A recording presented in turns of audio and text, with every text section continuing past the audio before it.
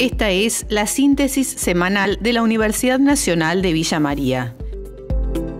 Del 12 al 14 de octubre se concretarán en simultáneo el séptimo Congreso de Ciencias Económicas de la UNBM, el décimo primer Congreso de Administración y el octavo Encuentro Internacional de Administración del Centro de la República, bajo el lema La investigación en las ciencias económicas, sus aportes a la sostenibilidad de las organizaciones.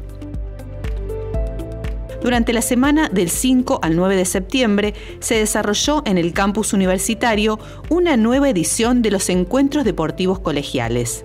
ENDECO es un proyecto de deporte inclusivo donde el principal objetivo es promover el acceso al deporte para jóvenes de los distintos colegios de nivel secundario de Villa María y la región. Imperfectos y dispares, el autorretrato como ejercicio de reflexión.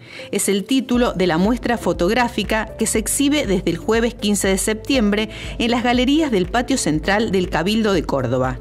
La docente de la UNBM, Candelaria Magliano, es la curadora de esta propuesta que reúne obras de fotógrafos profesionales de gran trayectoria y de estudiantes de la Casa de Altos Estudios Local la Universidad Nacional de Villa María, a través de su Secretaría Académica, inició el dictado del curso de ingreso 2023, primera convocatoria.